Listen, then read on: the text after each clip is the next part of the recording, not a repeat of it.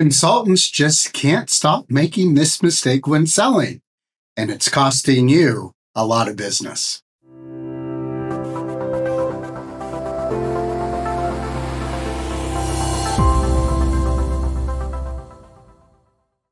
I'm Jay Kingley, the CEO of Maven. Even average consultants have expertise to solve client problems in their wheelhouse. Some do better by providing insights that change how clients think about the issues that are urgent and important to them. And a select few offer wisdom that can change the game for their clients. You believe that clients will want to work with you if you can offer your perspective on where they are and then show them your vision for where they should be. You need to inspire them to go beyond where they are and get to a promised land that they should want to enter and your prospects need to see you as their Moses who can get them there. Now, do this during your sales process, and you'll struggle to turn prospects into clients. It sets you up as the proverbial salesperson from the get go, puts you across the table rather than on the same side, and is adversarial rather than collaborative. Instead, embrace this. Meet your prospects where they are and then lead them as fast as they are willing and able to where they want to be.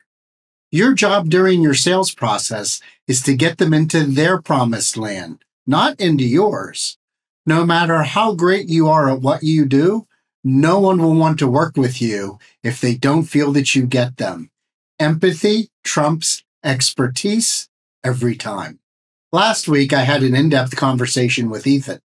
Ethan started his own consulting practice as a fractional COO about nine months ago. He's had enough conversations with prospects to know that magic wasn't happening on the sales front. I told him that I've been talking to consultants and fractional leaders for years, and when it comes to client acquisition, I noticed they fall into one of four groups. Here's how I took them through it.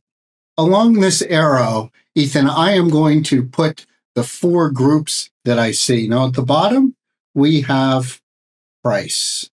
And by price, what I mean is that when you're talking to prospects very quickly, they want to understand what it's going to cost to have you work with them. Above cost, we have return on investment. Now, in this bucket, your clients have a very clear view of what the problem is that they need you to solve and they know what the value to them is of solving that problem. What they need to understand is what's it going to cost them so that they can calculate the return, the value to them over the investment when it's going to cost to bring you in to solve it. Now, of course, it's a little more nuanced than that because they're also going to assess their degree of confidence in your ability to get the job done in the time frame that you specify. So they, in effect, will risk adjust the ROI of you compared to everyone else they talk about to get a common baseline that incorporates risk. In the third category, we have what I call cheap at 10 times your price.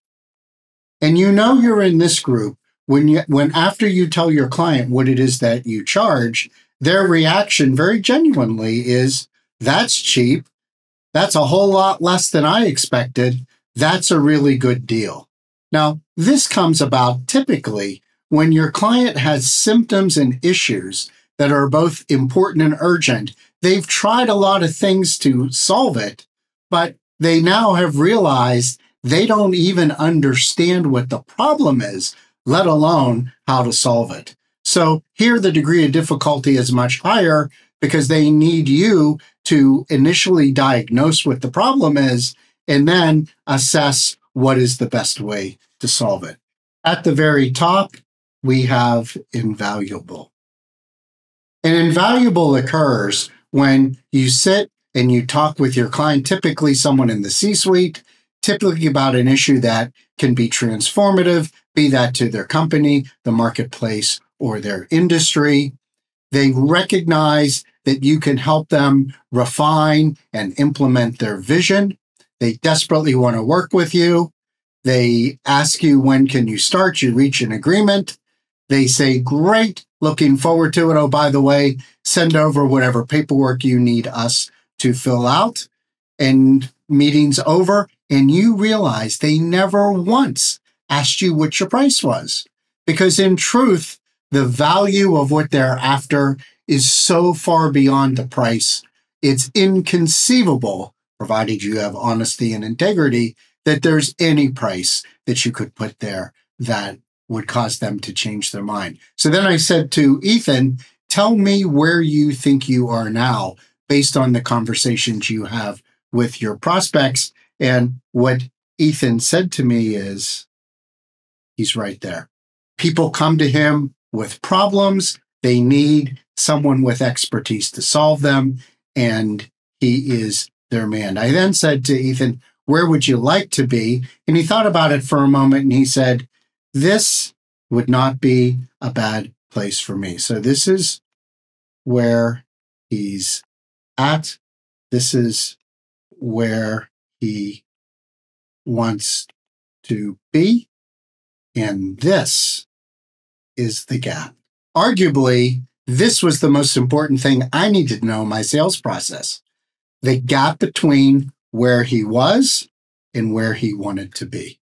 And the great part was it was the gap that he believed, not what I thought it was or should be. My point of view was irrelevant. After we talked a bit about his gap, I asked him if he would like to explore what he could do to close it. Smiling, he said, Absolutely. Ethan was another of my prospects that would soon turn into a paying client. Once your prospect becomes your client, inspire them to reach their full potential and go from where they want to be to where they can be. Meeting your prospects where they are is the key to turning them into clients. Now, once they are clients, inspiring them to achieve their full potential is how you retain them as clients for a long, long time. Contact me to continue the conversation on how you can dramatically increase your conversion rate by meeting your prospects where they are rather than where you think they should be.